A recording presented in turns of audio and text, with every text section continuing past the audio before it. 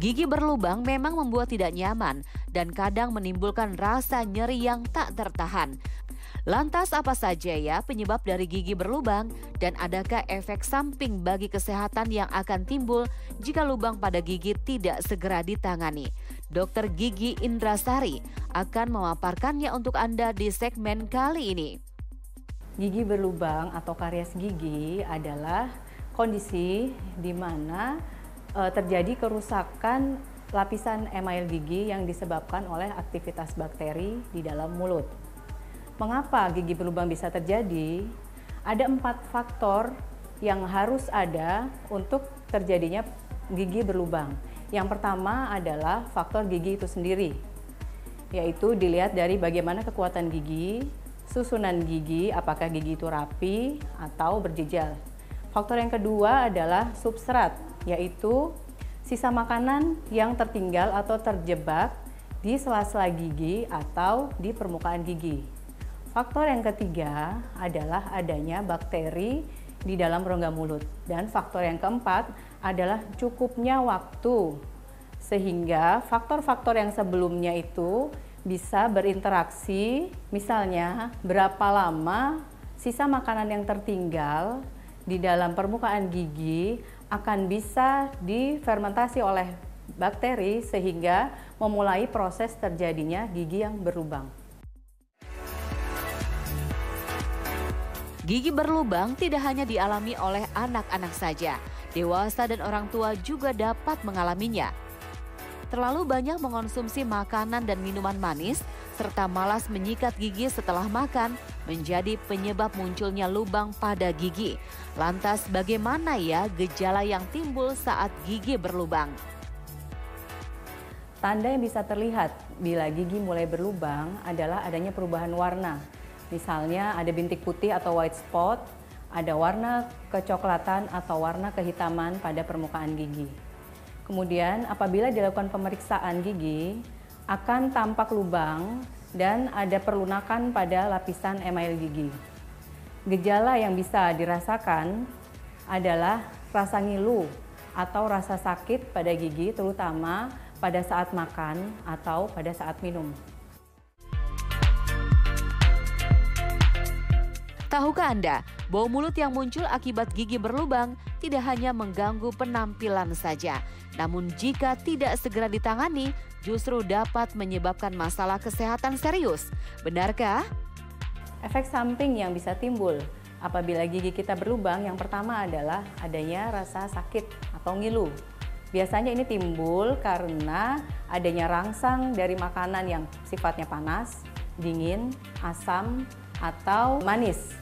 Kemudian efek samping yang kedua adalah timbulnya sakit kepala bila rasa ngilu atau sakit gigi ini terjadi terus-menerus. Efek samping yang ketiga adalah timbulnya bau mulut karena gigi yang berlubang akan menyebabkan sisa makanan terjebak di dalam lubang dan menimbulkan bau tidak sedap. Efek samping yang keempat akan mengganggu penampilan apabila gigi yang berlubang terdapat pada gigi depan. Dan tahukah Anda bila gigi berlubang akan meningkatkan resiko terjadinya penyakit sistemik? Penjelasannya adalah gigi yang berlubang akan menjadi tempat bakteri atau kuman dan kuman-kuman yang ada di dalam gigi berlubang tersebut akan masuk ke dalam aliran darah dan mengikuti peredaran darah dan bisa mengganggu organ-organ yang ada di tubuh kita.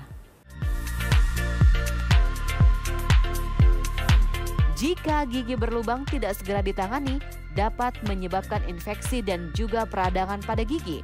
Lantas bagaimana ya cara merawat gigi yang sudah berlubang dengan tepat agar tidak menyebabkan masalah yang serius bagi kesehatan? Bila kita sudah menyadari gigi kita berlubang atau kita curiga ada gigi yang berlubang, sebaiknya segera datang ke dokter gigi untuk memeriksakan gigi kita. Apabila masih dini, biasanya tindakan yang diperlukan cukup penambalan.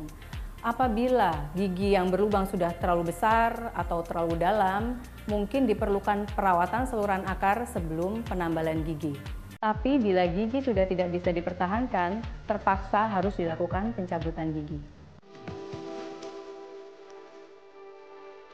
Memiliki gigi yang putih dan juga sehat menjadi keinginan setiap orang. Oleh karena itu penting untuk selalu menjaga kebersihan gigi dan mulut. Lantas bagaimana ya tips agar terhindar dari munculnya lubang pada gigi? Tips untuk menghindari terjadinya gigi berlubang, yang paling penting adalah menjaga kebersihan mulut dengan menggosok gigi minimal dua kali sehari sebelum tidur dan sesudah sarapan pagi. Kemudian menggunakan pasta gigi yang mengandung fluor karena fluor akan memperkuat gigi dan menghambat aktivitas bakteri di dalam mulut. Mengurangi makanan-makanan yang mengandung karbohidrat dan mudah melekat pada permukaan gigi, misalnya biskuit, coklat, atau permen. Kemudian yang terakhir, rutin memeriksakan gigi kita ke dokter gigi untuk pencegahan atau untuk mengetahui lebih dini apakah ada gigi yang berlubang. Saya Dr. Gigi Indra Sari, spesialis ortodonsi untuk Hidup Sehat Plus.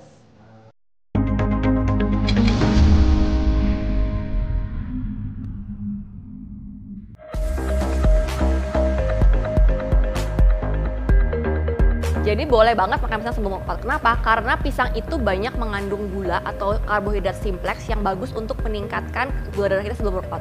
Jadi untuk ngeboost energi kita sebelum workout supaya lebih maksimal lagi workoutnya. Selain pisang, kita boleh mengkonsumsi buah mangga atau kelengkeng atau juga um, leci atau buah anggur yang mengandung kadar gula yang tinggi untuk ngeboost energi kita sebelum workout.